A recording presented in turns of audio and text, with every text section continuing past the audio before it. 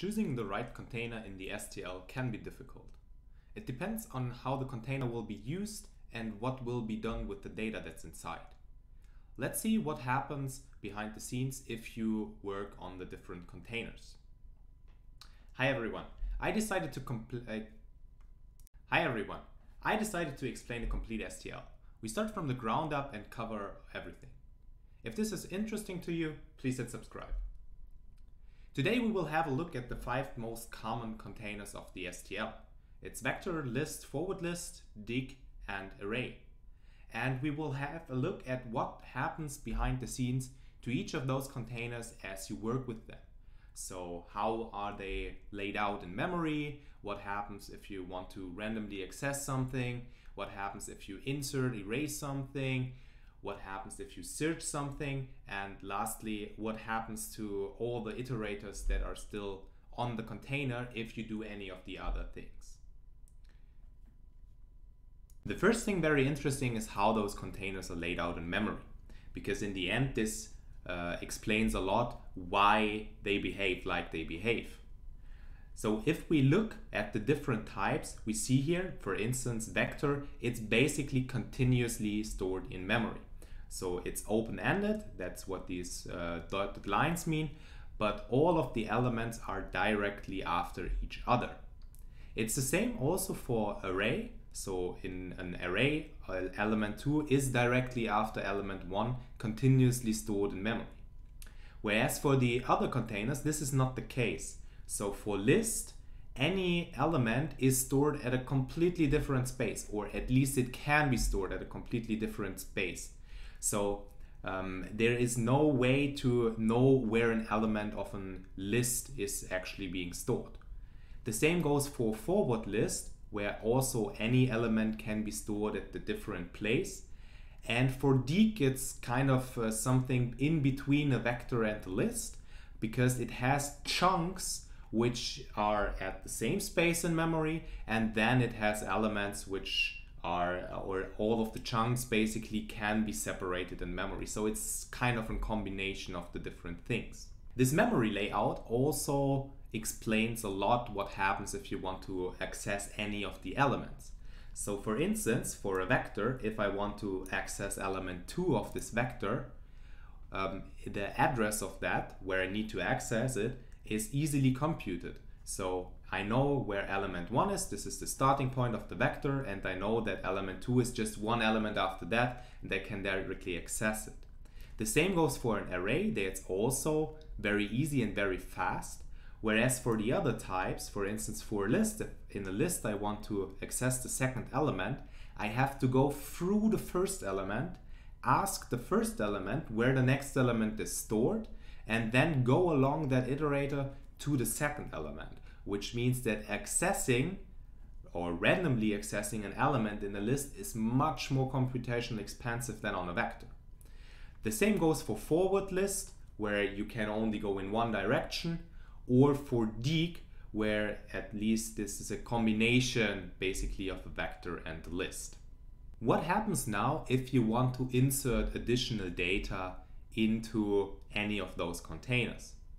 So for instance, for a vector, if I want to insert an element after the second element, what needs to be done is that all the elements after that need to be um, need to be removed or to move to a different location.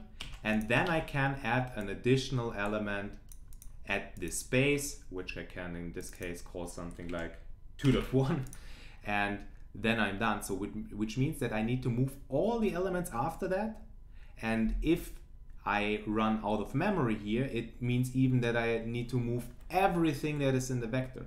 So inserting something at a random location in a vector is quite expensive. For a list, this is a lot easier. So for a list, if I want to insert this 2.1 element, I just insert it here at any other location in memory.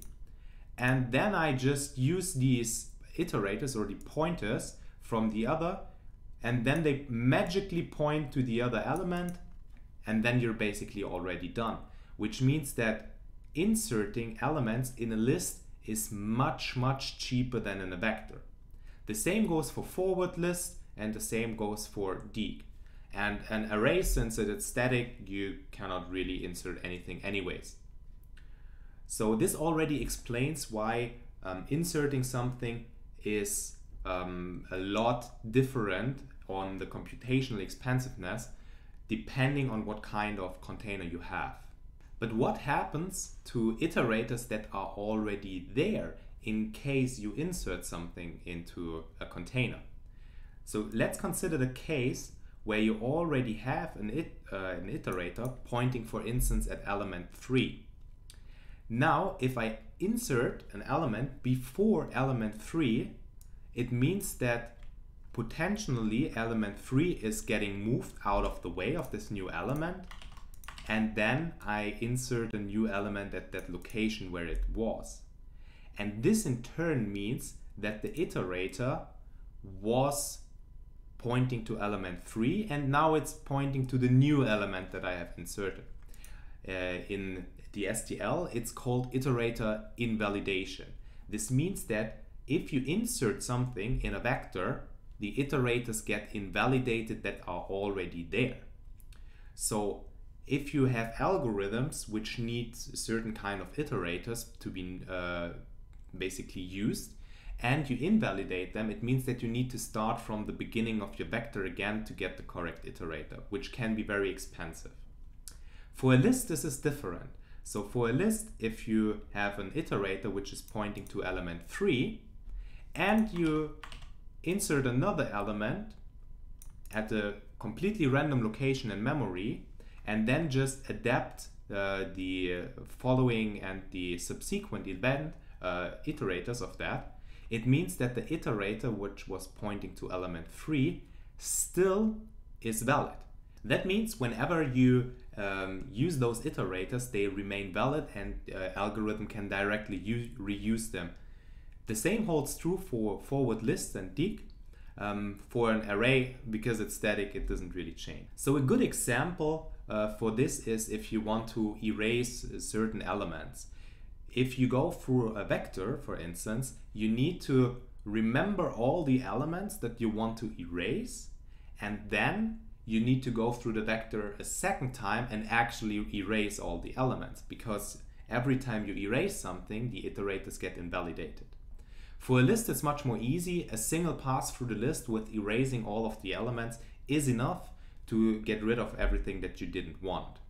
So you already see that it's kind of important what use case you want for your container in order to decide which one is the perfect fit. So when trying to find out what is the perfect container for your use case, you basically need to ask uh, the important questions. And those are how often are elements added or erased from the container? And where are those elements added and erased? If you plan on adding a lot, and erasing a lot from your container, usually a list is a better choice. And the second one is how often are the elements actually accessed? So if you want to have a random access where you just want to access some of the elements, also usually a list is a better choice. Whereas if you need to process all of the elements all of the time, then usually a vector is much faster because it's continuous in memory. So it really depends on what you want to achieve with your container. But the important takeaway is that whatever uh, container you use, it should be the correct one for your use case because it can make a tremendous difference in performance. I hope you learned something today and enjoyed the content. If yes, please hit subscribe. If you want to keep, uh, keep watching, I already have a video prepared here for you. And as always, enjoy coding.